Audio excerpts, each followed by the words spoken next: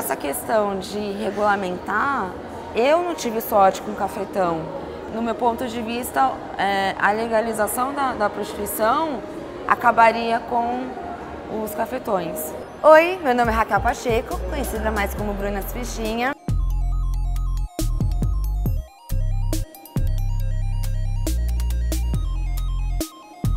Eu acredito que a prostituição é um trabalho como outro qualquer. Mude minha ideia.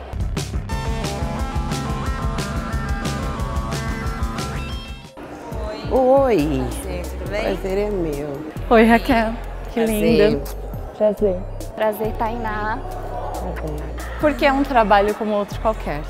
Sempre foi meu ponto de vista, até mesmo antes de, de me prostituir. Porque, primeiro que eu sei que já virou um clichê, né? Mas é uma das profissões mais antigas. É uma profissão que, no meu ponto de vista, tem dignidade, porque é um, é um relacionamento totalmente transparente. Os, os homens sabem que a garota de programa quer apenas o dinheiro deles e as garotas de programa sabem que o- os homens querem apenas um prazer. É uma profissão porque a, a mulher ela está ali vendendo o, o tempo dela, tudo, investindo nela também. Eu sempre enxerguei com carinho, assim, é uma profissão.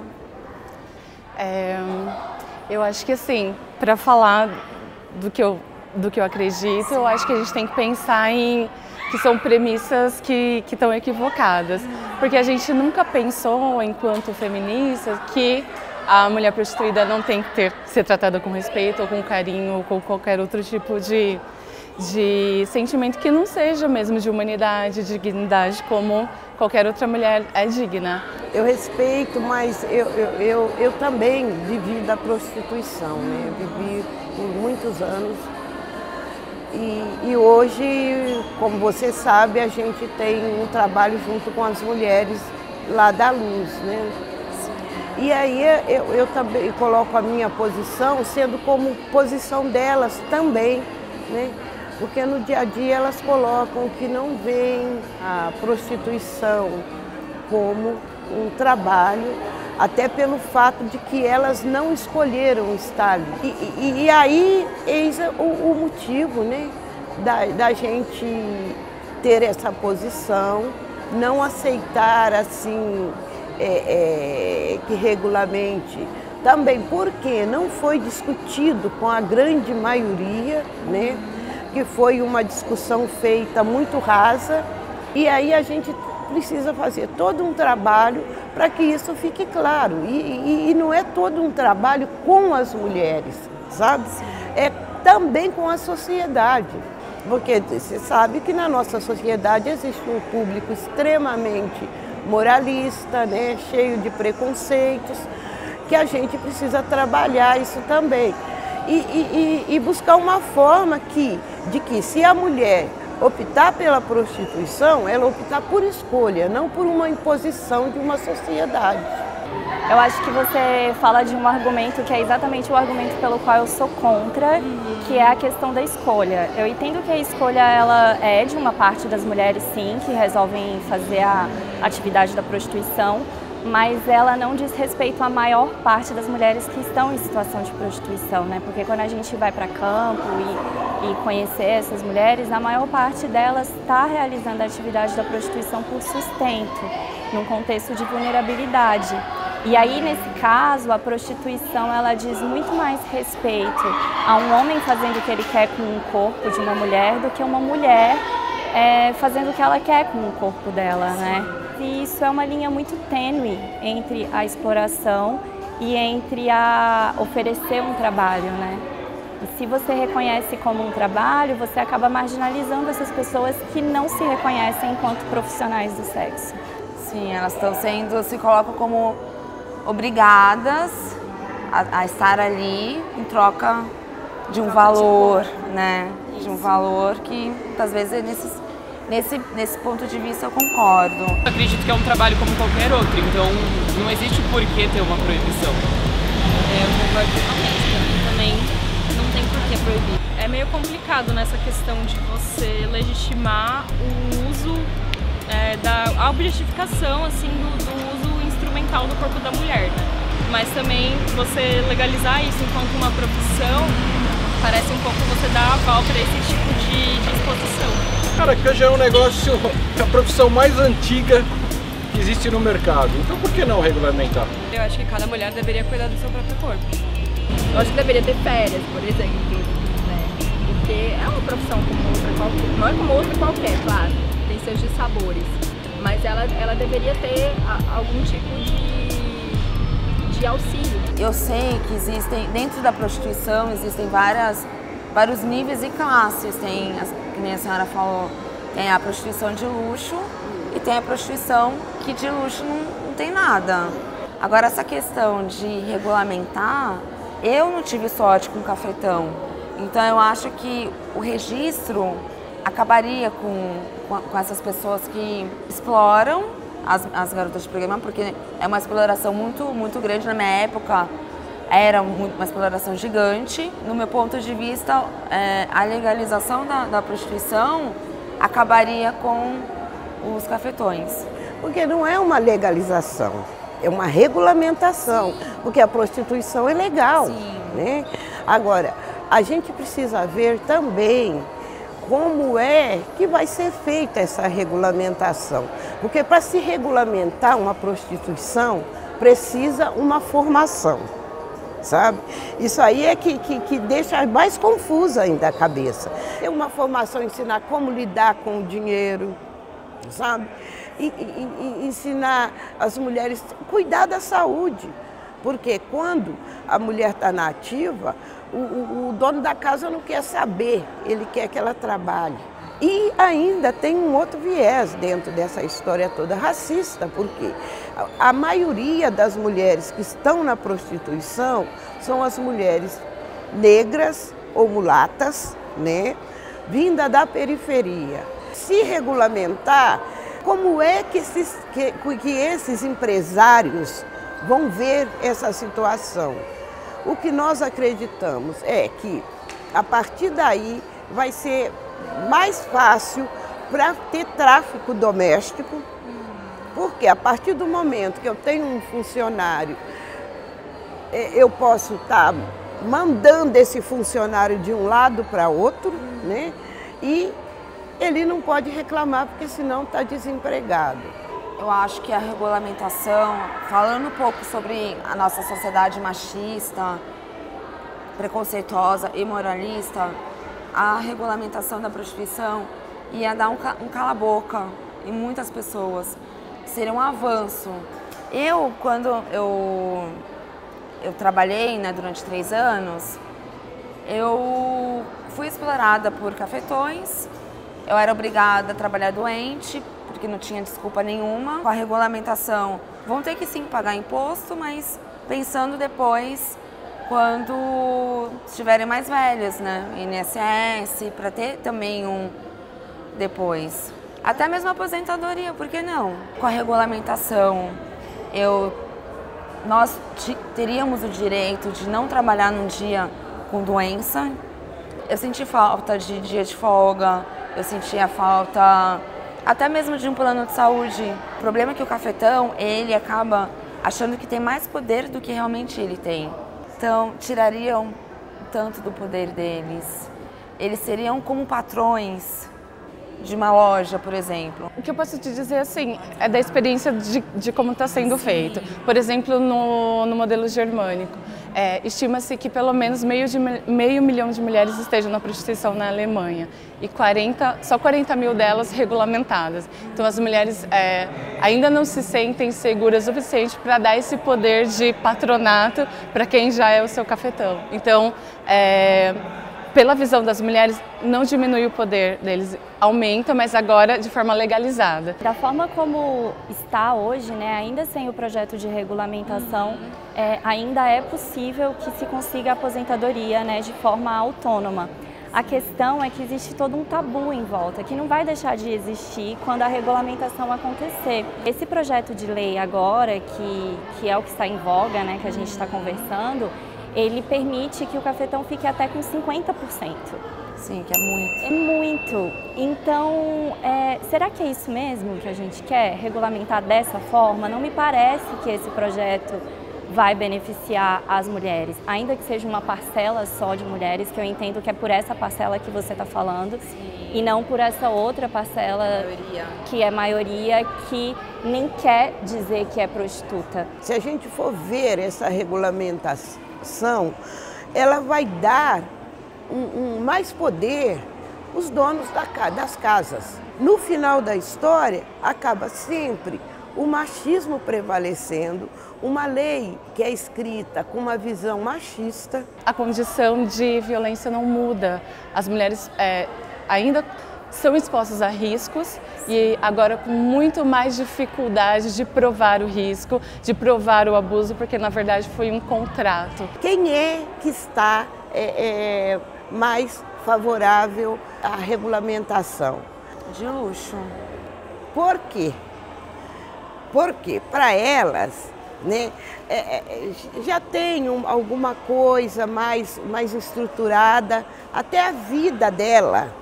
Quando ela chegou na prostituição, a vida estava mais estruturada.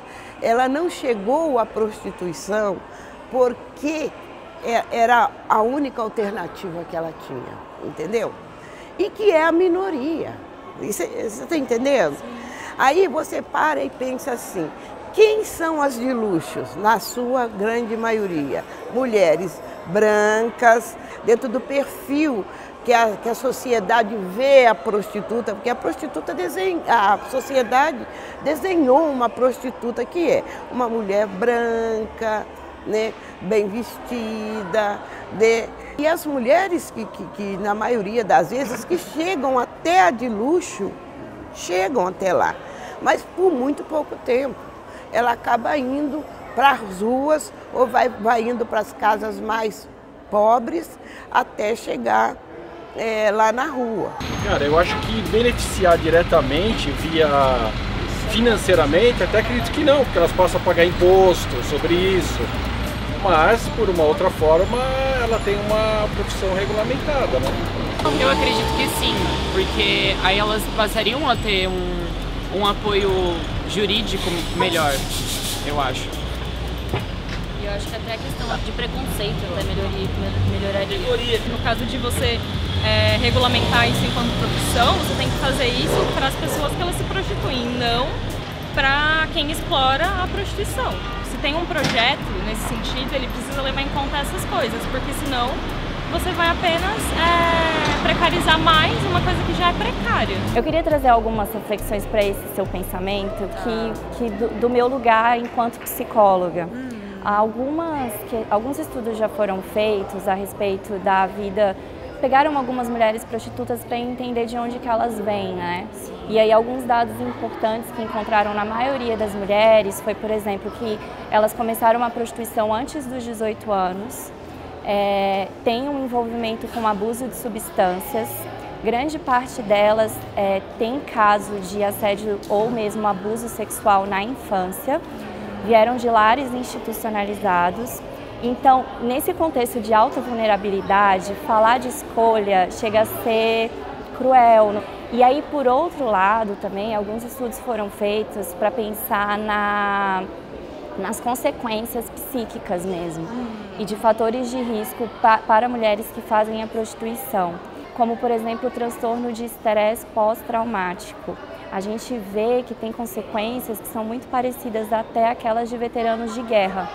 Depois de tantos anos ali na prostituição, submetida a situações de violência física, moral, sexual, estupros recorrentes, uma própria negação de subjetividade, né, pela disponibilidade de dar prazer doente ou não doente, como você mesmo falou, com folga, sem folga, mas por uma questão de sustento, né? Questão de suicídio, é, depressão, ansiedade. Então são várias coisas que somam para esse pensamento do será que a gente precisa caminhar nesse sentido de regularizar? Será que gente, se for como que tem que ser, né? Porque existem muitas evidências de que é uma atividade que causa bastante sofrimento. Seria impossível falar que é uma profissão igual a qualquer outra, porque o nível alto de, de assédio, o nível alto de violência sexual em que essas trabalhadoras são é, postas, é impossível comparar com qualquer outro tipo porque a própria condição já é violenta, ela é baseada numa desigualdade social, então já nasce da premissa violenta. Então seria muito mais difícil, sendo lei, você comprovar que esse abuso está acontecendo, que também vai do campo é, de como nós somos socializados, como nós nos vemos de maneira mercadológica, de como a mulher se constrói pelo olhar masculino, essa questão de tentar dividir o poder agradando e de como, é, para estar nesse processo, de, de é, afastamento do próprio corpo. Se, é o que a gente chama de transtorno de dissociação, de como é muito mais difícil ainda falar em consensualidade de alguém que de fato não está presente. A gente acredita que, como tem sido mostrado já em outros países, que vai piorar a situação das mulheres. Porque a mulher, ela não tem o corpo só dela desde realmente. Então, os homens querem possuir o corpo da mulher custo. Acho. Ah, eu acho que vem lá desde antes, né? Que tipo, os homens sempre olhavam para as mulheres como só corpos. corpos. É sempre mais comum os homens olharem para as mulheres assim, dessa maneira do que vice-versa. É uma subjugação do outro sempre. E é sempre o corpo da mulher que está mais em evidência por conta de todo uma, um preconceito estrutural. Eu acho que mulheres ou homossexuais, eu acho que eles procuram bem menos o sexo masculino. Questão cultural mesmo. O homem procura, com certeza procura muito mais. Pensando historicamente, realmente acho que tem uma predominância das mulheres e também das mulheres trans nesse mercado, né? Mas também tem homens que se prostituem. Porque o machismo tem essa, esse hábito né, de objetificação de corpos, sejam eles femininos ou masculinos. Criminalizar a prostituição até agora não impediu nenhum abuso ou deu qualquer forma de proteção. Legalizar a prostituição implica em criar leis e padrões trabalhistas que gerariam mais proteção jurídica para essas pessoas que são vítimas de violência na rua e não têm qualquer forma de amparo. Entre parênteses, polícia. Eu concordo. A senhora concorda? Eu, eu, eu não vou mudar meu ponto de vista, né? Então, eu discordo sim com a regulamentação, porque se regulamenta, a violência pode ser maior na rua. Mulheres que prostituem trabalham ali dentro e as que, as que prostituem na rua tá fora da lei, entendeu? Sim. Mas e sobre essa proteção jurídica que realmente o fato da garota de programa ter o poder de processar o patrão. Danos morais, eu teria processado fácil. Isso você, né? Porque a maioria Hoje não daria das mulheres, ou a maioria das mulheres, família não sabe, ninguém sabe. Hum. Né? Se para ela entrar com uma ação, ela ia ter que dar endereço, aquela coisa toda. E aí? Ia se expor? sabe? Então eu acho que essa regulamentação é só mais uma forma de é, explorar as mulheres, sabe? Só isso.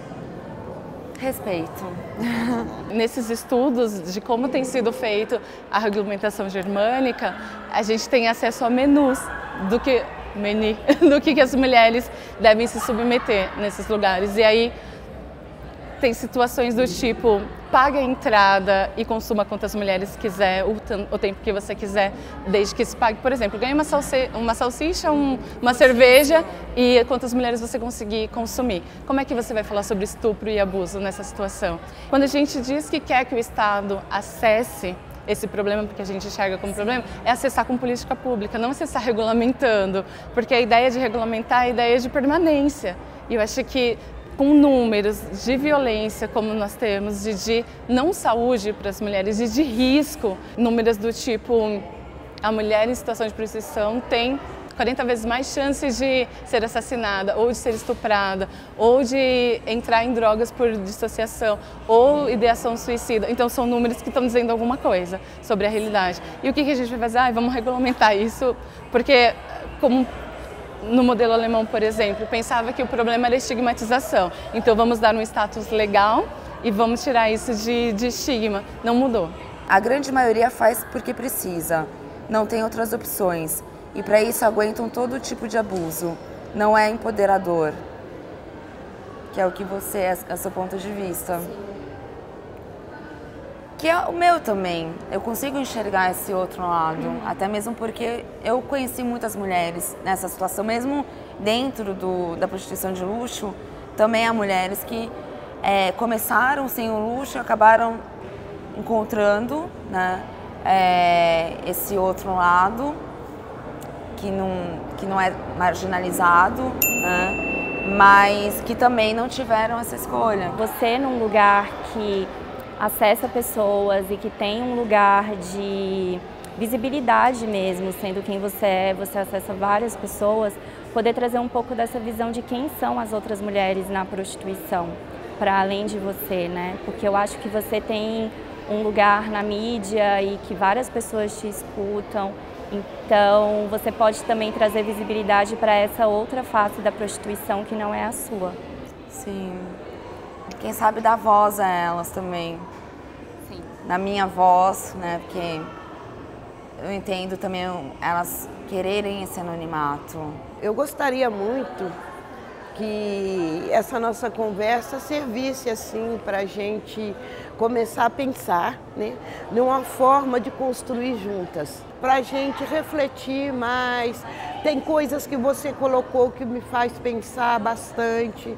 Tenho certeza que tenho coisa que eu coloquei para você que te faz pensar. Então que a gente saia daqui com essa ideia né, de construir uma sociedade melhor para as mulheres. Sim. É um debate saudável importante. Eu acredito que a maioria, se pudesse sair, sairia. Sim. Pensando que a maioria, se pudesse sair, sairia, né? Eu acho que a gente precisa muito levar esse debate mesmo para as políticas públicas, né? Pensando que precisa de política, um, de visibilidade, porque essa, porque essa situação acontece, só que ela é invisível, né? É, gera, políticas públicas de geração de renda são muito importantes, políticas públicas de educação. A gente vê que grande parte dessas mulheres também que estão em situação de prostituição tem um recorte tanto de classe quanto racial muito marcado, então são mulheres que além de pobres, são negras e são analfabetas, então tem uma questão de qualificação. Então precisam de políticas públicas mesmo, não vejo outro meio a não ser uma discussão de classe e de distribuição de renda. A própria ideia de ter é, uma regulamentação já para a gente parece um ideal de permanência de, e que permanência com números como esse de, de extrema violência. Ah, você trouxe muitas informações que eu confesso que eu vou refletir bastante, eu vou pensar bastante. Obrigada. Muito obrigada. Obrigada, tá? Prazer. Prazer foi meu. É. Bom, agradeço Você muito. é maravilhosa. Obrigada. Eu também gostei muito de conhecer e ter tido essa conversa. Vou refletir bastante sobre a nossa conversa.